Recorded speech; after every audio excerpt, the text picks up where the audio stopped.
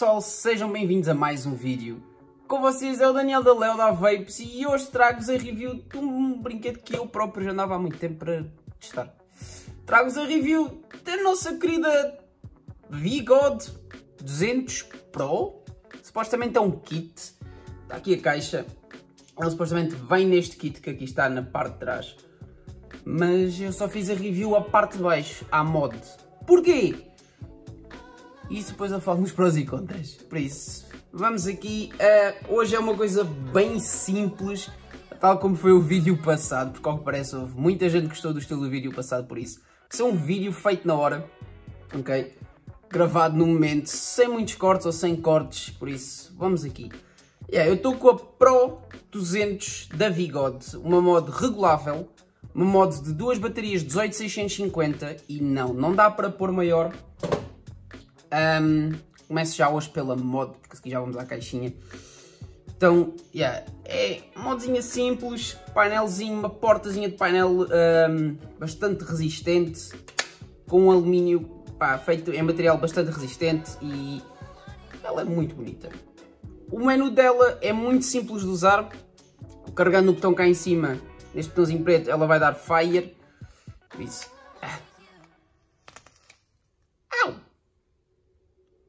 Yeah, vocês repararam. Uh, vai dar fire. Se carregar nos dois botõezinhos no mais e no menos, ela vai bloquear, como já é habitual em todas as máquinas. E a seguir outra vez para desbloquear. Um, dando os 5 toquezinhos cá em cima, ela vai ligar ou desligar.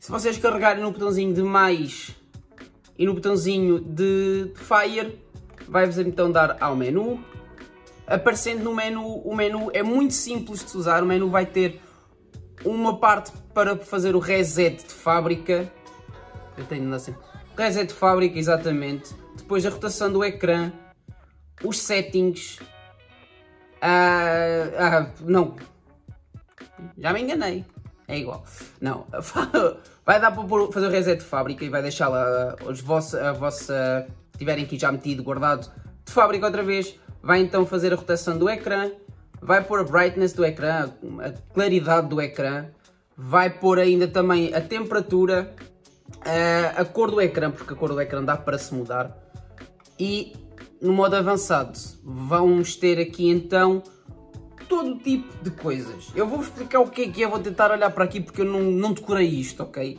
Então, começando por cima vai dar para pôr em modo de watch, vai dar para pôr em modo de titânio, mod stainless steel, uh, não, nickel chrome, stainless steel 304, stainless steel 316, modo pro, que modo pro é tipo temperature control, basicamente.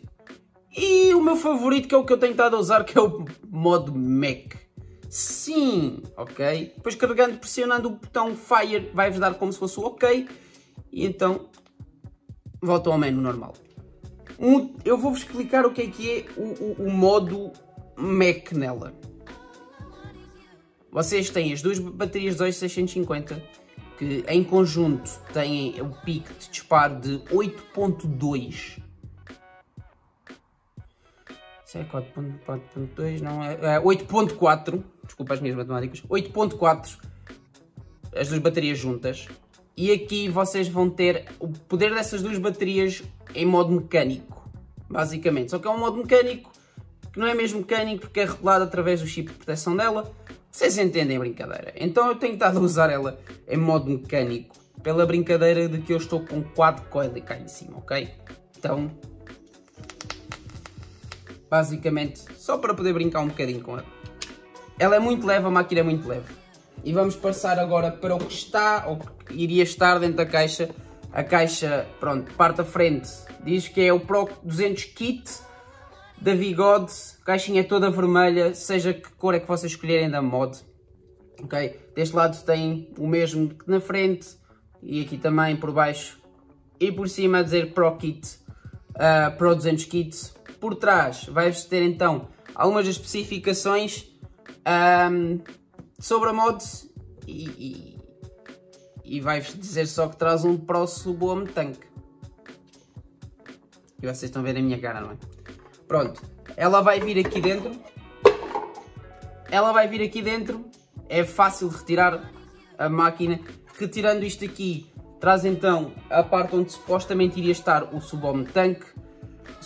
O subome tanque vai vir com um, um vidro para trocar, vai vir também com mais uma coil e mais um bagzinho com, com alguns sparings.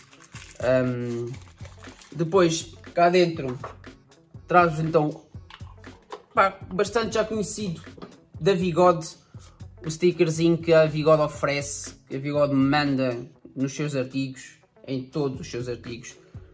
E depois, basicamente, é manual, o manual de instruções e, e, e mais outros, outros coisa do género. É, é papel, tá?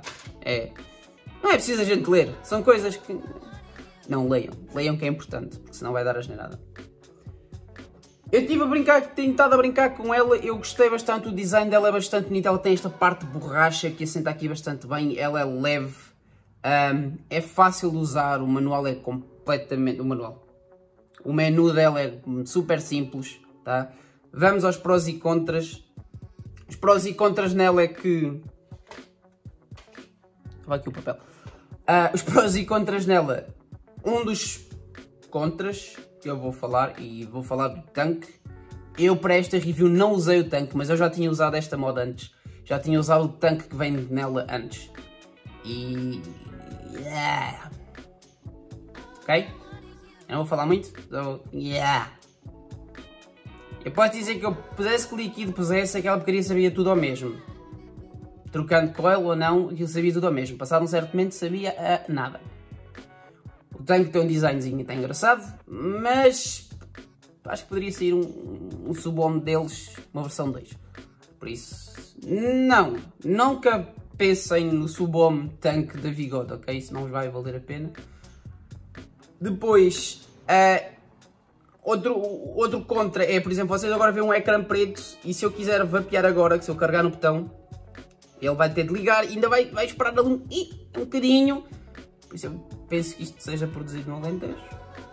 Estou a brincar, eu sou alentejano também.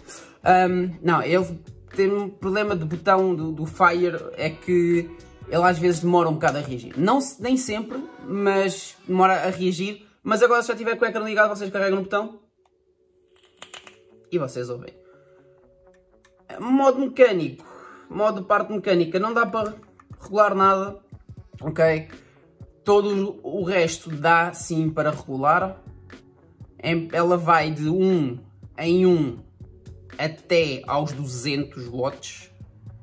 E acho que é, é normal, né? Diz nela 200, mesmo por esse, por esse motivo. E é só isto que eu tenho a dizer sobre ela. Nem sei. É, hum, este, este, era um Pro. Este era um Pro. Um, a máquina, a meu ver, assenta bastante bem na mão. Com um grande calhamaço na mão. Posso dizer que de todas as mods que eu tenho é capaz de ser atualmente a maior. E esta não é minha mesmo, mas capaz de ser a maior. E, e hum, foi a que até aos dias, aos dias de hoje menos me esqueci dela porque ela é bem pesada. Uh, mais um Pro é pintura. A pintura não deixa riscar. Isto tem estado a acontecer a mim, ok? Eu, porque eu conheço o, o primeiro batch dela, a tinta passado um certo momento começava a saltar, por isso é um contra.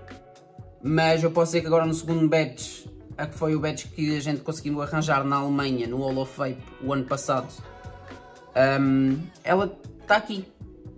É usada todos os dias, mas está aqui. Não tem problemas nenhumas com a tinta, nem riscos, o que é muito bom. E, e, é só isto. Eu não tenho muita coisa a dizer sobre ela, tanto em pontos negativos quanto em pontos positivos, porque eu não, não achei assim uh, muitos pontos positivos, uh, nem muitos pontos negativos. Ah, ponto positivo, para mim, é que a porta aguenta bastante bem. Ponto negativo na porta é que se vocês não tiverem unhas não conseguem tirar. Vão dar aqui às aranhas. E depois ela teve um problema de fábrica que foi, não sei se dá para ver. Então, uh, a porta está um bocadinho, uh, é, tem um pequeno coisa, não sei o que é que se passou com isto. Ela já vinha assim de fábrica. Mas a gente só reparou isso depois. Mas ok, bem. Não vou estar a falar do Drop Dead, né, para estar aqui a encher chouriços no vídeo. Por isso, uh, já saiu a review do Drop Dead. Muito obrigado a toda a gente que tem estado a apoiar o canal. Já batemos a meta dos 250 subscritores. Por isso estejam atentos que na live do Vinagre... Uh, e estejam atentos também ao meu Instagram que vai estar aí em baixo. Uma cena no olho. Estejam atentos ao meu Instagram também que vai estar aí em baixo. Um, vai sair... Vai sair, não. Vai haver um javali na live do Vinagre. Por isso estejam atentos. Participem se querem ganhar. Um, alguma coisinha. Esse é um miminho. Quando do primo.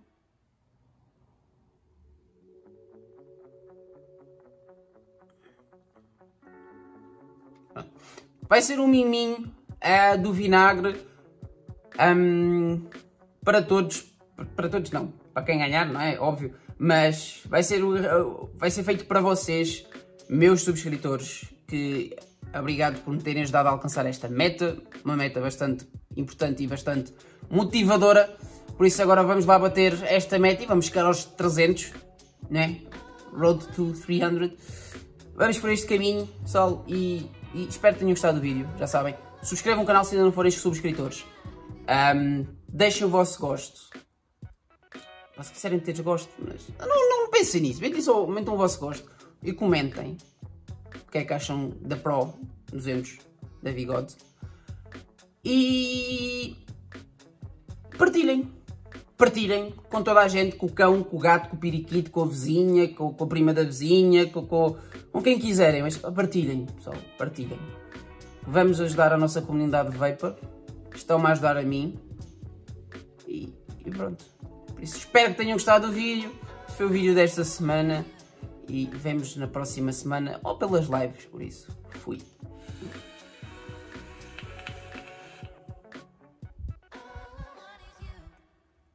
Não são caraças.